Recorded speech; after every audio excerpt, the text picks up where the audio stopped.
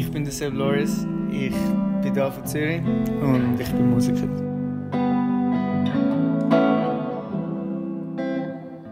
Musik ist für mich einfach frei sein.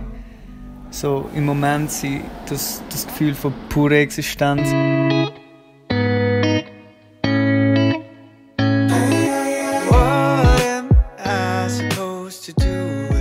Alles um einen herum kann inspirierend sein. Man muss sich einfach achten. Vor allem auch auf sich selber achten. Schlussendlich ist es einfach nur eine Perspektive. Und wenn sich jemand in meiner Perspektive kann sehen kann, ist das wunderschön.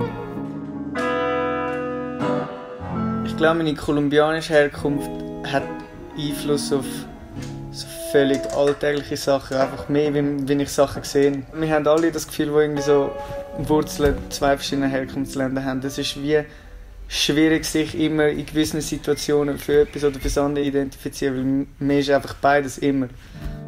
Wo mich meine Mami auch sehr geprägt hat, ist einfach mit der Offenheit und Liebe für Menschen.